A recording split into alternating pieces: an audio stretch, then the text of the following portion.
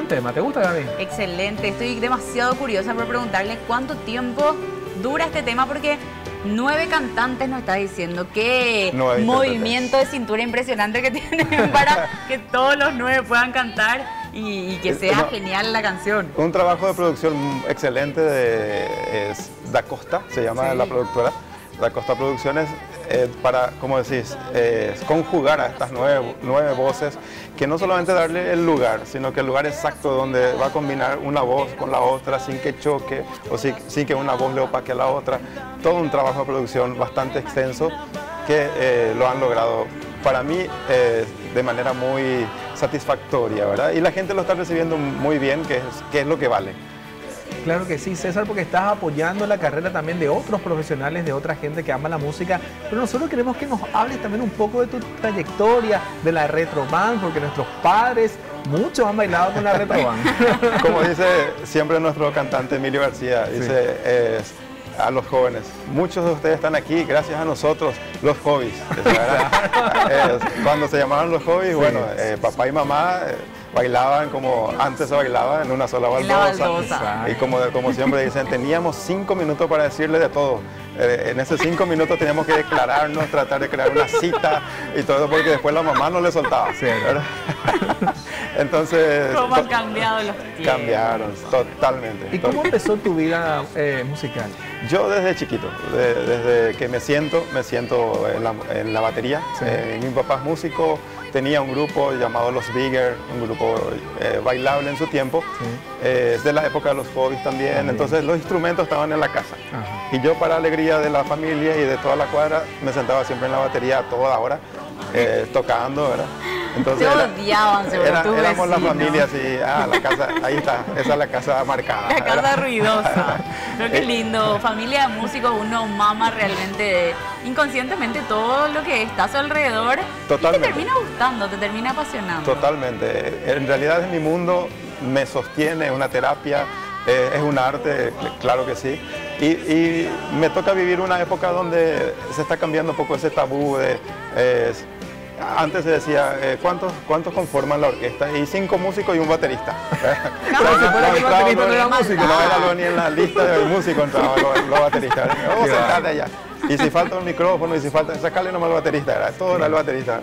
Y, y en esta época se está eh, han cambiado las cosas, ¿verdad? Estamos presentando un videoclips como baterista, invitando nosotros a cantantes y motivando a la gente a que puedan eh, entender cosas que ya se, se, ha entendido de que la, la batería requiere muchísimo sacrificio, para, hay que sudar encima, hay que estar eh, para, para, lograr tantas cosas, desde la coordinación que es lo básico, ¿verdad?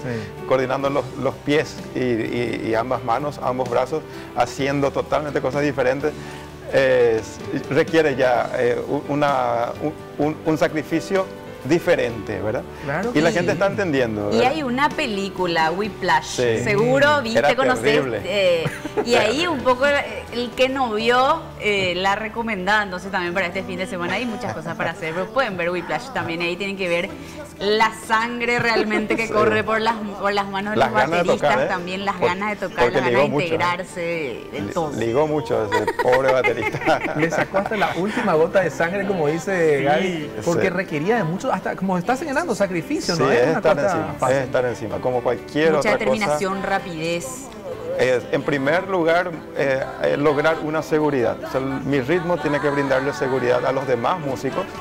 Ellos se tienen que sentir cómodos y el cantante otra vez se tiene que sentir cómodo, además de los músicos, y la gente recibir algo musical. Lo nuestro es muy ruidoso, como bien se sabe. Y entonces eh, una mala ejecución hace que suene fea la canción. Nosotros podemos echar a perder una linda canción o darle un toque eh, distintivo, ¿verdad? Entonces, César, como estás señalando, eh, también tuviste el privilegio de integrar, por ejemplo, memorables shows, por ejemplo, aquel de José Luis Rodríguez, el Puma. Estoy en la orquesta estable de El Puma todavía, para algunas giras, no puedo hacer todas. viajé con Yuri, en un buen tiempo también. Eh, la música me ha hecho recorrer mucho. ¿Cómo fue para que se dé esa participación con estos grandes artistas latinoamericanos? Cantantes, en realidad el primero que abrió esa puerta para mí eh, fue un cantante cristiano llamado Marco Huit, ah, sí, quien vino aquí también con, otro acompañado eh, llamado Danilo Montero. Me tocó formar el grupo para ellos y de ahí nos hicimos bastante amigos y musicalmente les agradó mi trabajo. Hasta que surgió, inclusive años después, una, una necesidad para ellos de tener un baterista eh, rápido en el sentido de que no había tiempo para ensayar. Se quedaron sin baterista y había una gira por Venezuela. Y de allá, de Miami, se acordaron, me llamaron y ahí contactamos. Pensé que era una broma, pero tremenda, a las 2 de la mañana. Cuando me, me habla eh, esta gente, eh, yo soy fulano, yo soy Marco Huit, eh, bueno, y yo soy, no sé quién le dijera, ¿con quién Sí, llego ya a pensar que era él, ¿verdad? Y a través de él, ahí conocí a Yuri, conocí a otros artistas y también surgió el tema de firmar contratos con empresas de platillos y percusiones en los Estados Unidos, todo a través de estas giras. Y otra vez con la, con la marca esta de platillos y teclados, eh, hacen en la, misma empresa. Eh, me tocó hacer seminarios y talleres por diferentes países y, y en eso estoy, en transmitir lo que Dios me ha dado como talento. también en la Mosca y sos profesor, ¿verdad? Sí, soy profesor del Conservatorio Nacional de Música y de la Escuela de Música de APA en la Facultad de Música también. Eh, estoy en la Orquesta Sinfónica con el maestro Luis Arán, hace, me estoy por jubilar ya, así que ya se imaginarán mi edad. y, bueno, estoy en la Retroban, los ex hobbies con Emilio García, Luis Álvarez. Muchas cosas, qué, qué gusto, ¿verdad? poder abarcar bien vivir de lo que me gusta, ¿verdad? si bien no es tocando, pero tiene que ver. Enseñar, que me encanta enseñar es grabar y todo lo que tenga que ver con la música eh, me sirve para vivir y puedo decir eh, y agradecer a Dios que puedo decir vivo de lo que me gusta. Claro que sí. Llegaste a hacer alguna vez, o varias veces me imagino, un análisis de todas las oportunidades que has tenido, pero seguramente oportunidades que se dieron y que al principio jamás ni lo habrás imaginado. Lo de los viajes, por ejemplo, eso jamás. Y, si voy a basarme en mi billetera, no, no, me iba ni a Clorinda, ¿verdad? pero poder decir que recorrí toda América, las Américas, eh, gracias a la música, es algo que voy a agradecer, agradecí y voy a agradecer siempre, a, Dios y a la música que me ha brindado esa oportunidad. Y estar con artistas que con Roberto Carlos, compartí escenario con Luis Miguel y con ah, otros cuantos artistas. Del verdadero Luis Miguel. El verdadero, no el... En el 89.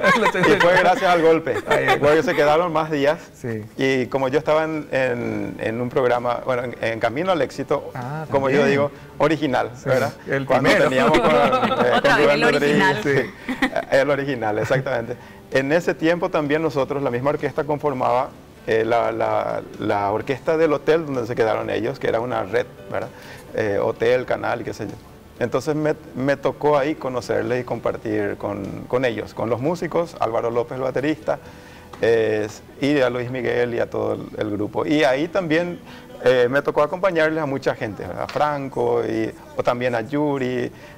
venían los artistas, si bien no tocaba muchas veces con ellos, pero conocía, ah. porque se hospedaban ahí en ese tiempo esta empresa hacía muchos conciertos. Entonces me tocó conocer y compartir con muchos músicos de, primer nivel y muchos eh, artistas cantantes eh, bien conocidos que, eh, como te digo, pagar yo la entrada a un concierto para ir a verles me, iba me va a costar, ¿verdad? ¿Qué te provoca a vos como músico ya con una trayectoria bastante amplia, importante? Estás, como ya dijiste, abarcando varias cosas en la orquesta, como, como docente, hiciste un montón de cosas. ¿Cómo te hace sentir el crecimiento que tuvo la música en estos últimos años en el país? Que las oportunidades que tienen las bandas, o hay bandas de jazz, bandas de rock, todas tienen su espacio ahora. ¿Qué, te provoca a vos ese, ese espacio, esa apertura? Mucha envidia, porque no era así en mi tiempo. Era muy difícil, ¿no? Era muy difícil. Eh, eh, ser músico lo era, ah, eh, esperen que todo entre y el músico último, ¿verdad? Era, estábamos muy marginados, había lugares donde los músicos no podían entrar por la misma puerta que los otros, era tremenda, ¿verdad? Eso en mi época, así que imagínense tiempo atrás. Pero en parte esta facilidad es también porque ustedes han luchado en una época distinta. estamos tratando de, dar, de dar a conocer lo, lo, importante del trabajo artístico en todas las ramas, no solamente la música, y que se valore al arte y lógicamente al artista, ¿verdad? y, que se nos trate como, como corresponde, ¿verdad? como personas. como grandes profesionales, un gran orgullo nacional, nuestra música es algo esencial en todas sus aristas y sus ritmos, todo lo que tiene por ofrecer un paraguayo en cuanto a música es muy valorado. Totalmente, totalmente. Y, por otra parte, lo de la envidia fue así como una broma, en serio. Obvio, eh, pero muy feliz, de verdad, porque sí hay mucha oportunidad hay muchos cambios. Me, tocó trabajar en, Don Bosco Roga, la Fundación para Niños, donde eh, se puso a prueba esto de que el arte cambia vidas, ¿verdad? Y realmente eh, fue así, y, es así, ¿verdad? mis alumnos, eh, por ejemplo, me decían, profe, en tal zona nadie te va a tocar Todito es caballo loco. en serio, todo es caballo loco. Andate nomás a la hora que vos quieras, tal zona, esa es mi zona. Nadie te va a tocar, me decían. Y hoy día son artistas. Están conformando varias sinfónicas, tocando música clásica.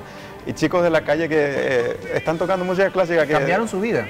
Totalmente, a través del arte, ¿verdad? Entonces, es vivir ese tipo de cambios y ser parte un poquitito en la vida de esta gente es, causa muchísima felicidad, ¿verdad? Y, y esto se está viendo en eh, el campo abierto, eh, para, como dijiste, para todos los estilos, ¿verdad? Hoy un rockero puede tener un, tiene su campo, un jazzista tiene un campo, nosotros con la música retro, seguimos adelante, ¿verdad? Siempre, que ahora encima todo lo retro está cada vez más de moda. Más de moda y nuestro San, San, San Bernardino, nos sigue dando de comer.